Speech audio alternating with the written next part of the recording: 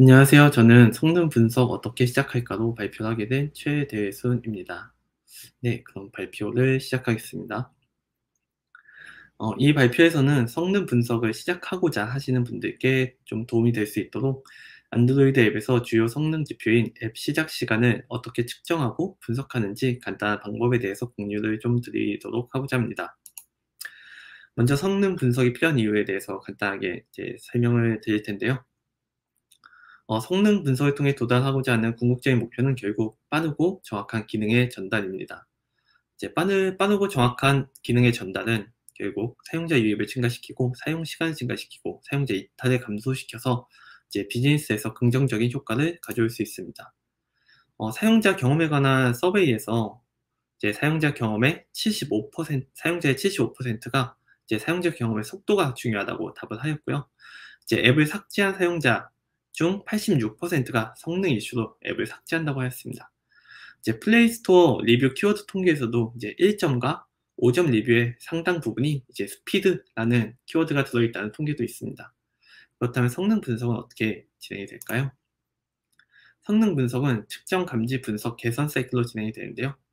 이제 측정과 감지의 경우 이제 뭐 benchmarking tool이나 Play Console, Firebase 또는 custom code를 통해서 측정을 하고 이제 뭐 QA나 또는 이제 뭐 비교 tool, 측정 tool 같은 걸 사용해서 이제 성능에 이슈가 있으면 감지할 수 있겠고요.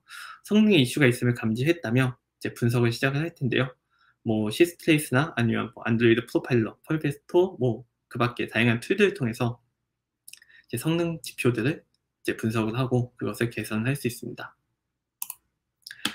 앤드, 안드로이드 앱에서는 이제 다양한 성능 지표들이 있는데요. 이제 많은 서비스들에서 당연히 보고 있어요. ANR, crash 뿐만이 아니라 이제 뭐 rendering, 이제 앱 시작 시간을 의미 안 했을 때 startup 또는 네트워크 file I/O 아니면 뭐 메모리, 배터리 등등 이제 다양한 성능 지표들이 있습니다. 이제 각 서비스나 상황마다 또 중요하게 되는 성능 지표들도 다르고 이제 측정할 수 있는 성능 지표들도 각각 다를 텐데요. 이제 이 발표에서는 이제 대부분의 서비스에서 이제 중요하게 여겨질 앱 시작 시간인 스타트업에 대해서 좀 더 자세히 살펴보도록 하겠습니다. 이제 스타트업이 무엇인지를 먼저 알아볼 텐데요. 이제 스타트업이란 이제 런처에서 앱을 실행을 해서 사용자가 서비스와 상호작용할 수 있을 때까지의 과정을 이제 스타트업이라고 합니다. 이제 이 스타트업에 대한 과정을 조금 더 약간 더 세분화해서 볼 건데요. 이제 저희가 launcher를 클릭하면 시스템은 이제 starting window를 사용자에게 띄워주게 됩니다.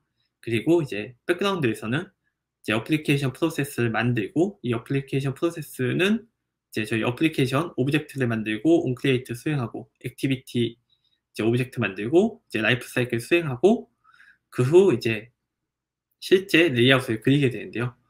이제 첫 번째 레이아웃이 이제 첫 번째 프레임이 다 그려진 다음에 요 시점에 이제 보여주고 있던 starting window랑 이제 스위치를 하게 돼서 실제 사용자가 보는 앱 화면이 나오게 됩니다.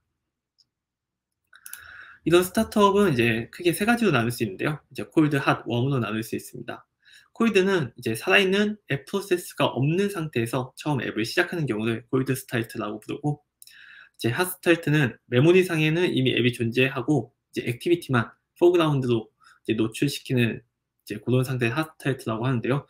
저희가 이제 앱을 실행하고 이제 back key를 이용해서 앱을 종료했을 때 그때도 이제 앱 프로세스 자체는 이제 메모리에 남아 있는 상태인데요. 그때 이제 앱을 애, 이제 그때 앱을 다시 시작을 한다면 이제 어플리케이션 과정은 이제 생략을 하고 activity 관련된 과정만 이제 수행을 해서 사용자에게 앱 화면을 보여주게 되는데 그때가 이제 핫스타트라고 볼 수 있겠고요. 이제 웜 스타트의 경우 기존 실행되었던 프로세스의 일부 정보가 이제 저장되어 있는 상태에서 앱을 시작하는 건데요. 이제 저희 앱이 PG 상태에 있다가 어, 어떤 원인에 의해서 뭐 메모리 회수가 됐다면 이제 그 앱을 다시 실행하려고 했을 때는 이 회수될 때의 정보의 일부가 이제 저장되어 있는 상태에서 실행이 될 텐데요. 이제 그때는 이제 cold start보다는 이제 조금 더 빠른 이제 동작을 할 수 있어서 이제 그때 실행 이제 그때를 원 스타트라고 부릅니다. 어, 그럼 이제 startup time을 이제 어떻게 측정하는지를 알아볼 건데요. 이제 가장 단순하게 측정할 수 있는 방법은 이제 요 로그를 사용하는 겁니다. 이제 저희 Activity Task Manager에서는 이미 첫 번째 프레임이 그려진 시간을 이렇게 로그로 찍어주고 있는데요. 저희 Logcat에서 Activity Task Manager로 검색을 해하시면 이렇게 displayed 하고 이렇게 시간이 표현된 걸 보실 수 있습니다. 뿐만 아니라 이제 activity에서는 report fully drawn 이라는 이제 method를 제공을 하는데요. 어, 이 method를 이제 호출한 시점까지의 또 시간도 로그에서 이제 표기를 해줍니다. 이제 이거 같은 경우에는 이제 저희가 아마 뭐 대부분의 이제 앱들의 이제 startup time이 이제 첫 번째 프레임이 그려진 시간으로 이제 볼 수 있겠지만 이제 다양한 이제 서비스에 따라서 첫 번째 프레임이 그려졌어도 사용자가 이제 상호작용할 수 없는 경우가 있을 수 있습니다. 예를 들어 뭐 네트워크에서 어떤 데이터를 받아온 다음에 그걸 그려야 사용자랑 이제 상호작용할 수 있기 때문에 그때를 이제 startup time이라고 이제 기준을 두는 그런 서비스들도 있을 수 있겠죠. 이제 그런 서비스들 같은 경우에는 이제 이 report fully drawn이라는 method를 이제 활용할 수 있겠습니다. 근데 이렇게 로그에서 확인하는 방법은 이제 간단하지만 실제 측정과 이제 분석에 사용하기에는 이제 다소 불편한 점이 있는데요. 이 측정 값을 저희가 이제 로그로부터 이제 가져오기도 불편하고 어, 떤이 측정된 값을 다른 것들과 뭐 비교를 한다거나 아니면 좀 더 세분화하기에도 이제 불편한 점이 있어서 불편한 점이 있어서 이제 다른 방법들을 이제 주로 사용하곤 합니다. 어, 두 번째 방법은 이제 외부 플랫폼을 사, 이제 활용하는 방법인데요. 이제 대표적으로 Play Console이랑 Firebase Performance를 통해서 앱 startup time을 측정을 할 수가 있습니다. 이제 Play Console은 어, 이제 vital이라는 메뉴에 앱 시작 시간이라는 이런 지표를 제공하는데요. 어, 여기는 실제 뭐 몇 초 이런 걸 제공하는 건 아니고 이제 어떤 startup time이 지연이 됐는지 이제 몇 퍼센트의 세션이 이제 지연이 됐는지에 대한 이제 지표를 노출해주고 있고 이제 동종에 대비해서 네, 얼마나 느린지 또 이제 표현을 해주고 있습니다. 파이어베이스 퍼포먼스에서는 이제 trace라는 이제 탭에 app start라는 항목으로 이제 제공을 해주고 있는데요. 요거는 이제 content provider content provider의 onCreate부터 이제 activity onResume까지의 시간을 이제 나타내주고 있습니다. 이제 아마 보통 대부분의 앱들은 사실 이 두 가지 지표만으로도 어 이제 내 서비스의 startup time이 뭐 느려졌구나, 뭐 분석을 해야겠구나, 뭐 이슈가 있구나 이런 것들 이제 감지할 수가 있는데요. 이제 서비스에 따라서 이제 custom하게 좀 더 세분화해서 이제 지표를 측정해야 되는 경우가 생길 수 있습니다. 이제 custom 측정은 세분화된 구간에서 좀 정확한 측정이 요구되는 경우에 필요하고요. 이제 custom 측정이기 때문에 당연히 hot, warm, cold, start에 대한 구분이 당연히 필요하겠고 이 측정하고자 하는 구간에 대한 이해가 있어야 이제 custom 측정을 이제 할 수가 있습니다. 이제 요 custom 측정에 대해서도 이제 간략하게 설명해 드릴 텐데요. 어, 요걸 위해서 조금 더 이제 startup 요 과정에서 어떤 일이 발생하는지 상세하게 알아보도록 하겠습니다. 어, 먼저 앱이 시작하는 과정에 대해서 좀 더 자세히 살펴볼 건데요. 먼저 이 Zygote에서 앱 프로세스가 포크되면 앱 프로세스는 이제 Activity Manager Service를 통해서 시스템 서버와 이제 IPC 통신을 하게 됩니다. 이때 시스템 서비스는 이제 시스템 서버는 이제 bind application과 이제 execute transaction이라는 이 메시지를 message queue에 전달을 하게 되는데요. 이제 앱 프로세스는 이 message queue에 전달된 이 메시지를 하나씩 이제 소비를 하게 됩니다. 이제 bind application이라는 메시지를 소비를 하면서 이제 handle bind application이라는 함수를 수행을 하게 되는데요. 이제 이 함수 안에서는 이제 make 어플리케이션, 실제 어플리케이션 오브젝트를 만들고요. 그리고 요 initiate provider를 호출하면서 이제 content provider를 생성을 하게 됩니다. 그리고 이 attach info를 통해서 content provider의 이제 onCreate를 수행을 하고요. 그다음 여기 맨 마지막에 이제 application의 onCreate를 수행을 하게 됩니다. 이제 그리고 나서 이제 execute transaction 요 메시지를 소비를 하게 되는데요. 이 execute transaction 메시지는 저희가 이제 잘 알고 있는 이제 activity의 life cycle을 이제 수행을 해주게 됩니다.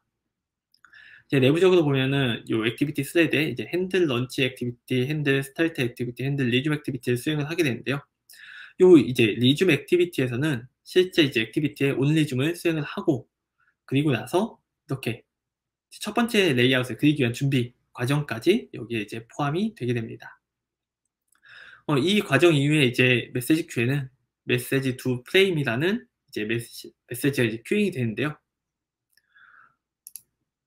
이제 이후에 이 queueing된 요 메시지가 소비가 되면서 이제 저희 첫 번째 draw가 시작이 된다고 보시면 되겠습니다.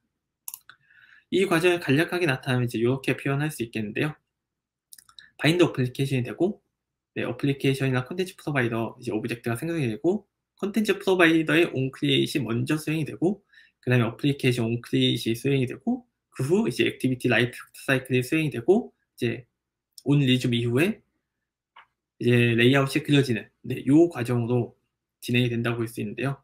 이제 일반적인 startup을 측정하려면 이 bind application부터 이제 first draw가 완료된 시점을 측정한다면 이제 앱의 startup time을 이제 올바르게 측정을 할 수 있을 거고요.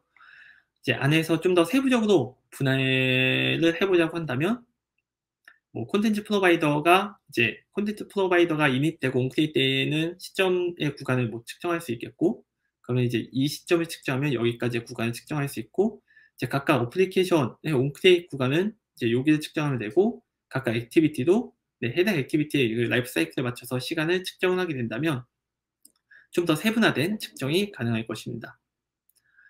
어, 여기에서는 사실 어플리케이션과 activity 라이프 사이클에 대한 측정은 저희가 흔히 알고 있는 뭐 onCreate, 뭐 onStart, onResume을 이제 override 해서 해당 부분에다가 측정하면 되는 부분이라 어, 자세히 다루진 않을 거고요. 이제 bind application, 그 다음에 이제 content provider, 그리고 이제 first draw가 완료된 시점 이 세 개에 대해서만 이제 간략하게 알아보고 넘어가도록 하겠습니다. 어, bind application 시점은 어떻게 잡느냐 하면 이 bind, handle bind application 이 함수 안에 보면 이렇게 process set start times라는 게 호출되는 걸 볼 수 있어요. 그럼 여, 이때 세팅된 타임을 저희는 이제 process.get startup time millisec 요걸로 이제 언제든 이제 호출할 수 있어서 이제 해당 method를 활용하면 될 것 같고요.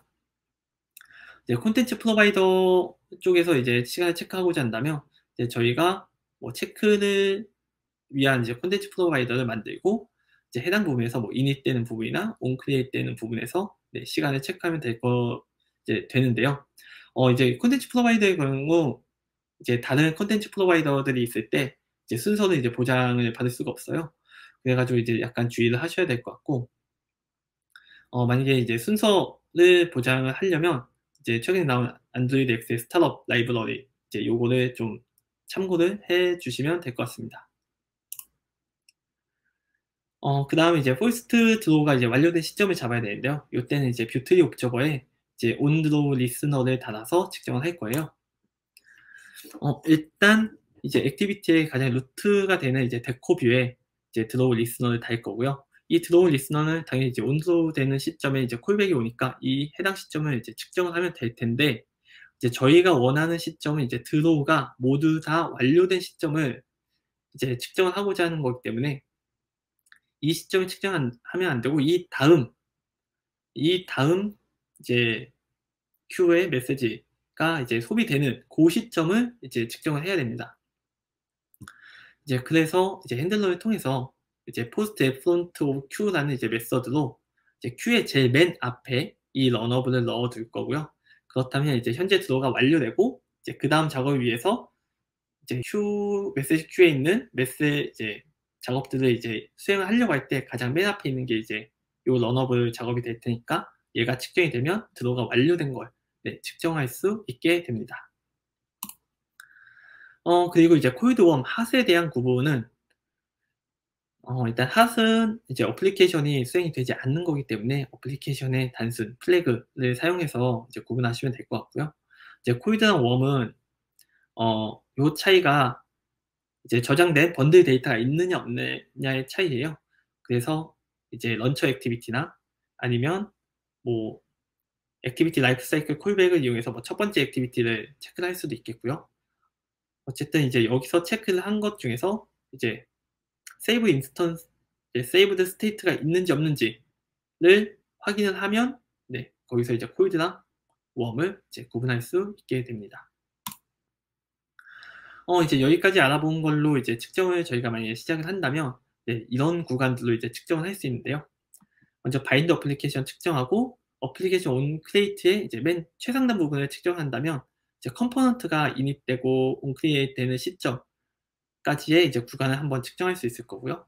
네, onCreate의 이제 마지막 부분을 측정하면 이제 요 onCreate 고유의 타임을 측정할 수 있고 activity 라이프 사이클도 이제 이것들과 마찬가지겠죠.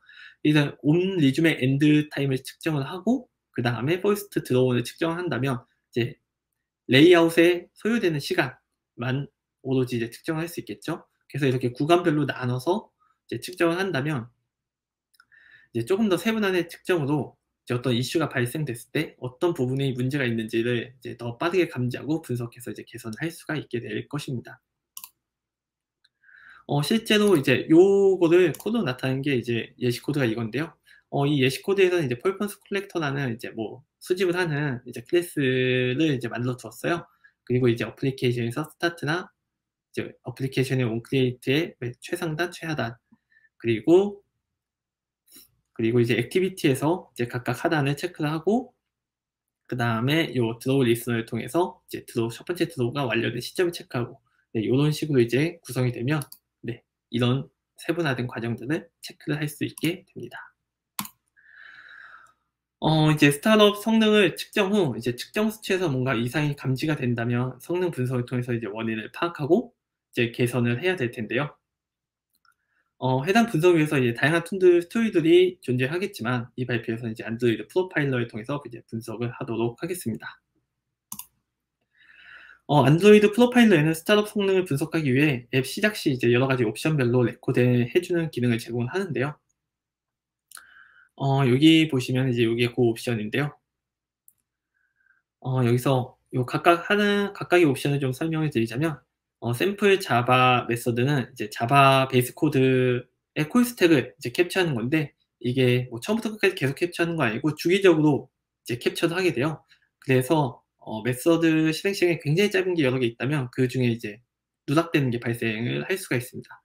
어, 만약에 짧은 method가 뭐 여러 번 호출이 돼서 누락이 되면 안 된다라고 하시면 이 Trace Java Method 요 옵션을 사용을 하시면 되는데요. 이제 요 같은 경우에는 처음부터 끝까지 다 추적을 하지만 이제 처음부터 끝까지 계속 추적을 하다 보니까 실제로 이제 요걸 레코드하고 있는 상황에서는 앱의 성능이 굉장히 늦어져요. 그 다음에 이게 또 양이 많아서 어, 이 trace 파일 자체의 크기가 또 굉장히 커질 수 있습니다. 아마 웬만한 경우에는 다 Sample Java Method로 네, 추적이 네, 캡처해서 뭐 성능 분석이 가능하실 거예요. 그리고 샘플 그냥 C, C++ 펑션스라는 옵션도 있는데요. 이거는 Java뿐만이 아니라 C 콜스택까지 이제 캡처를 해주는 건데요. 어, native C 코드가 있다 하는 경우에 이제 이 옵션을 사용하면 될 거고요. 그렇지 않으면 뭐 대부분 다 Sample Java Method로 네, 활용을 뭐 하실 수 있을 겁니다. 그다음에 이제 Trace System Calls는 이제 우리가 흔히 얘기하는 이제 Systrace라는 게 이제 결국 여기에 해당되는 건데요. 시스템 리소스와 이제 상호작용을 출적할 수 있는 그런 옵션이 되겠습니다. 어, 요거는 이제 저희 샘플 예시를 보면서 실제로 이제 설명을 좀 드리려고 하는데요. 어, 여기 보시면 이제 간단한 앱을 하나 만들어 왔어요. 그리고 잘 안 되네요. 네. 좀더 키워서 보겠습니다. 네, My Performance라는 앱인데요. 이거 키면은 네. 네, 그냥 단순하게 이렇게 나오는 앱인데요. 어, 벌써 살짝 느끼셨겠지만 이제 여기 킬 때 속도가 약간 느리죠. 이제 일부러 이제 여러 가지 이제 bad performance 코드들을 심어놔서 이제 퍼포먼스에 문제가 있는 코드고요. 어, 여기서 저희가 이제 분석 과정을 볼 텐데요. 이 분석 과정은 이제 앞에서 이제 다양한 측정 tool을 통해서 이제 여기 이 My Performance라는 앱에 이제 startup 과정에 이제 뭐 성능에 문제가 있다라고 가정이 된 상태에서 저희가 분석을 진행한다고 이제 가정을 할게요. 자, 그럼 이제 가정을 맨 처음에 할 때, 어, 이제 성능 분석을 시작을 할 때, 이제 Edit Configuration에 들어가서 여기에 Profiling tab에 들어가시면 이제 요걸 체크할 수가 있어요. 이제 이걸 체크를 하시면 이제 profiler를 시작하면서부터 이제 레코드가 시작이 되고요. 이제 맨 처음에 저희는 Trace System Call로 이제 어떤 문제가 있는지부터 파악을 한번 해볼 거예요. 그래서 이제 요거 profiler를 실행을 하시면 실제로 이렇게 레코드가 되는데요. 화면이 나왔으니까 스톱을 하겠습니다. 네. 여기 맨 위에 있는 상단 타임라인으로 이렇게 타임라인을 조정을 할 수가 있고요. 어, 여기 밑에서는 이제 다양한 정보들을 보여주는데요. 어, 지금 시간이 약 10분 정도밖에 안 남아가지고 어, 자세한 설명 못 드리고 이제 간략하게만 설명을 드리도록 하겠습니다. 이제 여기에 대한 자세한 설명은 사실 그 안드로이드 developer 그 가이드에 예, 상세하게 나와 있어요. 그래서 그거 참고하시면 될 것 같고요. 일단 여기 interaction tab은 이제 사용자가 뭐 클릭을 하거나 뭐 스크롤 하거나 하는 부분이 되면 이제 여기 빨갛게 표시가 돼요. 그 다음에 lifecycle은 이제 activity, 어떤 activity인지 activity 명칭이 표시가 되는데요. 어, 저희가 이제 어, startup 과정에서부터 이제 recording 한 거는 이제 이게 표시가 안 되더라고요. 그래서 이게 뭐 버그인지 아닌지는 잘 모르겠는데 이제 요거는 이제 앱을 실행하고 그 중간 과정에서 기록할 때는 이제 올바르게 동작하는 걸 보실 수 있고 네, 이따가 한번 네, 같이 확인을 해 볼 거예요. 그리고 이제 이 디스플레이 tab은 어, 실제로 이제 프레임 버퍼가 이제 queueing 되고 네, 그 이제 VSync에 맞춰서 이 버퍼가 이 디스플레이로 전달되는 네, 그런 과정을 이제 나타낸 거고요. 이제 요 세 개가 이제 각각 그런 걸 의미하는 건데 요건 이제 일단은 자세히는 알아보지 않을 거고요. 요 프레임만 보시면 될 텐데요. 대부분의 경우에는 요 프레임이 이제 저희 흔히 얘기하는 그 기준 프레임이 있죠. 뭐 60, 뭐 60 프레임, 1초에 60 프레임이 보여야 된다. 뭐 이런 기준 프레임이 있는데 그 기준 프레임이 넘어가면 여기 빨갛게 표시가 됩니다. 지금 요 My Performance 앱에서는 이렇게 빨갛게 표시가 된 게 있고 이게 벌써 1.67 초가 걸린 어떤 이런 jank 프레임이 이제 발생을 했다는 거죠. 그래서 이렇게 빨갛게 된 부분에 아, 성능 이슈가 있구나 해서 이제 이 부분을 확인하시면 될 것 같고요. 그리고 어 요거는 이제 CPU에 대한 거고 이거 메모리에 대한 건데 뭐 자세한 설명을 일단 여기서는 오늘은 생략을 하도록 하겠습니다. 그 다음에 이제 thread 쪽에 보면 요게 이제 저희 앱에 thread가 맨 위에 기본적으로 나오게 되는데요. 여기서 보시면 이제 저희 아까 이제 초반에 startup 과정에 대해서 좀 상세히 설명할 때 뭐 bind application 뭐 이런 것들을 얘기했는데 그렇게 이제 시스템이랑 이제 상호작용하는 그 부분이 이제 여기에 표시가 됩니다. 지금 보시면은 여기 bindApplication이 어, 굉장히 지금 뭐 1.64초나 걸리는 거 보일 수 있고요. 그 다음에 지금 여기 doFrame에서는 네, 지금 프레임이 뭔가 잘못됐다는 걸 여기서 감지할 수가 있겠죠. 그 다음에 여기 각각 measure, measure 레이아웃 자체도 지금 시간이 굉장히 오래 걸리는 걸 확인을 할 수가 있습니다. 어, 근데 사실 이거만 요 시스템, 이제 systrace만 봐서는 어, 어떤 부분이 이제 어, 문제가 있는 것 같다, 어떤 구간이 문제가 있는 것 같다까지는 이제 유추를 할 수는 있지만 실제로 이제 뭐가 문제인지는 확인할 수가 없어요. 결국 코드상에서 뭐가 문제인지 확인을 하려면 저희 자바 method를 샘플링을 해야 됩니다. 여기에서는 어, bindApplication 지금 문제가 되고 doFrame에 지금 프레임 잘못됐다고 체크가 되니까 어, 여기에 레이아웃하는 과정에서 분명히 잘못이 있는 것을 저희가 예측을 할 수 있겠죠. 그러면 다시 자바 샘플링으로 네, 다시 실행을 해보겠습니다. 네, 코드를 다시 실행을 해볼게요. 네, 그럼 이제 레코딩이 되고 화면이 뜨면 네, 스톱을 하겠습니다. 네. 어, 여기에서는 아까 이제 설명했던 거랑 똑같은 거라 네, 크게 설명 안 드리겠고요. 그다음에 여기 method 이제 여기 thread 탭에 아까는 이제 패키지 명이 나왔다면 아까는 이제 시스템이랑 사용하는 거라서 이제 패키지 명이 나왔던 거고 여기는 이제 해당 이제 프로세스에 관한 거라 이렇게 메인이라고 이제 메인 thread 명이 나옵니다. 그럼 이것도 이제 해당 구간을 조금 좁혀서 봐볼게요. 네. 저희가 아까 문제가 됐던 부분이 일단 bindApplication 부분인데요. 이 bindApplication 부분을 보면은 어, 여기서 onCreate 시간도 지금 1.15초 나오는 걸 볼 수 있고 그럼 onCreate에서 뭔가 잘못된 걸 알 수 있고 지금 onCreate에서 각각 뭐 SDK를 뭐 initialize 하는 것 같네요. 그래서 내려와서 보면 좀 더 크게 보겠습니다. 내려와서 보면 결국 얘가 문제가 되는 걸 확인할 수 있죠. 네, 이런 식으로 이렇게 top down 이제 flame chart를 통해서 이제 확인을 할 수가 있고요. 어, 사실 이 top down flame chart로 지금은 이제 단순한 어플리케이션이나 이렇게 간단하게 확인이 되지만 이제 복잡한 어플리케이션은 이렇게 확인하기 좀 힘들어요. 그래서 이제 문제가 되는 지금 아까 bindApplication에 문제가 되는 거 확인했으니까 bindApplication을 클릭을 하시고 이제 오른쪽에 보면 이렇게 다양한 네, 옵션들을 또 제공을 해주고 있는데요. 여기서 이제 flame 차 chart부터 이제 설명을 드리면 이 flame chart는 지금 여기에 탑다운이며 바텀업 프레임 차트라고 보시면 돼요. 그래서 bottom up으로 건맨 결국 최종 어떤 게 시간이 가장 많이 잡아먹었는지를 이렇게 확인을 할 수가 있고요. 그럼 이걸로 보시면은 어 얘가 뭔지 모르겠지만 얘가 좀 많은 부분을 차지하는구나를 여기서 바로 확인할 수가 있고요. 어, 이렇게 flame chart를 활용하는 거 외에 이게 그냥 bottom up이라는 메뉴를 누르시면 누르시면 사실 flame chart랑 똑같은데 이거를 그냥 리스트로만 쭉 나열한 거예요. 근데 이제 여기에서 요 self로 네 어, 내림차순으로 차순으로 정렬을 해보시면 문제가 되는 걸 더 쉽게 파악을 하실 수 있으세요. 그래서 이렇게 self로 정리해보고 이 run이라는 게 뭔지 모르지만 굉장히 네, 많은 시간을 잡아먹었다는 걸 알 수 있고 그럼 여기 jump to source로 가면 어 얘가 있다는 걸알수 있죠. 그러면 얘가 어디서 호출되는지 이제 top으로 올라가다 보면 네, 어 이런 데서 호출이 되는 걸 확인할 수 있고 또 점프트 소스로 가면 어 SDK 이니셜라이즈 하는데 어, 시간이 오래 걸리는구나. 네, 이걸 파악을 하고 그러면 이 initialize를 뭐 다른 쪽으로 뺀다거나 아니면 뭐 만약에 백그라운드로 돌릴 수 있다면 돌리거나 뭐 이런 식으로 개선을 할 수가 있겠죠. 어, 나머지 메뉴들도 간단하게 설명을 드리기에는 시간이 좀 부족하네요.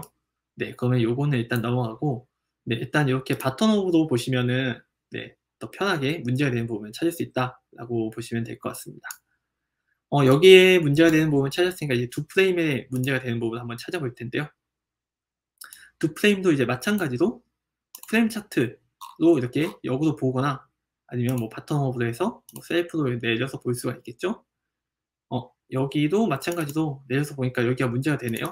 여기 bind에 문제가 있고 여기 onBindViewHolder 뭐 이런 데 문제가 있네요. 가보면 어, 뭔가 지금 이 RecyclerView에 bind를 하는데 뭔가 문제가 있는 것 같죠? 그러면 여기서 어, 이 부분이 문제가 지금 되는 거겠죠? 네, 지금 콜스텝 올라가 보면 이 바인드에서 이제 발생한 이 런이 발생하는 거니까 이제 여기서 문제가 되는 걸 알 수 있어서 이제 이 코드를 조금 더 개선한다거나 그 다음에 여기서 문제가 되는 부분이 지금 이 부분뿐만 아니라 지금 이 부분도 많은 문제가 되고 있어요. 그래서 이 부분을 보면 어 매저에서 문제가 되네. 이 measure 보시면은 어 이 measure에서도 뭔가 문제가 되는 지금 이 코드가 들어가 있으니 이거를 뭔가 좀 더 개선한다거나 여기 레이아웃에서도 지금 이만큼의 네, 시간을 지금 잡아먹고 있으니 이 레이아웃도 jump to 코드로 가보면 어 여기서 얘가 문제가 되는구나 해서 좀더 네, 개선을 할 수 있을 겁니다. 어, 요 안드로이드 profiler 같은 경우에는 사실 어, 요 startup 뿐만이 아니라 어, 그냥 저희 레이아웃에서 약간 느린 부분이나 아니면 혹, 혹은 렌더링을 측정하는데 뭐 jank가 낮다거나 뭐 이런 부분에 대해서도 어, 성능 분석하기에 굉장히 좋은 툴인데요. 어, 예를 들어서 이 CPU에서 지금 저희 자바 method 샘플 recording을 시작을 해볼게요. 그리고 이 스크롤의 성능을 좀 분석을 해보려고 하는데요. 어, 일단 이 스크롤이 지금 이렇게 올려도 약간 버벅이는 게 느껴지시죠? 그래서 예를 들어 여기서 성능에 문제가 있다는 걸 감지했다고 하면 이제 여기에서 이제 분석을 시작할 텐데요. 그것도 마찬가지로 요 안드로이드 profiler를 네, profiler에서 요 자바 자바 method 샘플링을 record를 하시고 네, 요거 이렇게 스크롤 하시고 네, 스톱을 하시면은 네, 이만큼의 샘플을 이제 잡을 수가 있어요. 그래서 이렇게 또 축소해서 보면 필요한 구간을 축소해서 네 여기서 이제 확인하실 수 있는데요.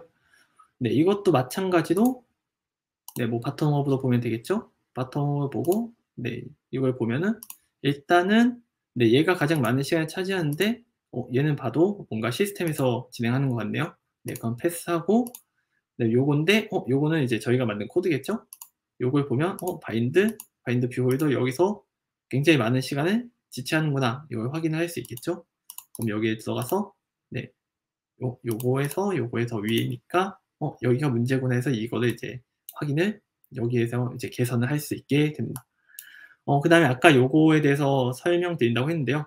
어, 이렇게 중간에서부터 이제 레코드를 하게 되면 이렇게 라이프 사이클 어떤 activity인지 나오고 user의 interaction도 나와요. 이 interaction 같은 경우에는 이제 클릭할 때는 press로 이제 점 하나만 나오고 지금은 스크롤 했기 때문에 이렇게 좀 길게 표현이 되는데요. 이런 식으로 interaction 부분도 나오기 때문에 이 부분만 따로 네, 이렇게 해서 뭐 볼 수도 있습니다. 네, 이제 startup에 대한 이제 분석과 이제 간단하게 뭐 네, render 이슈가 있을 때 분석, 그 다음에 이제 Android Profiler로 이제 분석하는 법에 대해서 이제 간단하게 알아봤는데요. 어, 일단 오늘 설명드린 내용은 앱의 성능 분석에서 이제 가장 기본적으로 시작할 수 있는 내용을 좀 다뤄봤어요. 이제 이 외에도 많은 성능 분석 tool과 이제 방법들이 있는데요. 뭐 Perfetto를 이용할 수도 있겠고요. 아니면 benchmark tool을 사용해서 뭐 같은 테스트 작업을 여러 번 반복시켜서 유닛별로 뭐 성능을 측정 테스트를 진행할 수도 있겠고요. 근데 결국 이제 각 서비스에 맞도록 이제 분석 체계와 시스템을 설계하는 것이 이제 가장 중요합니다.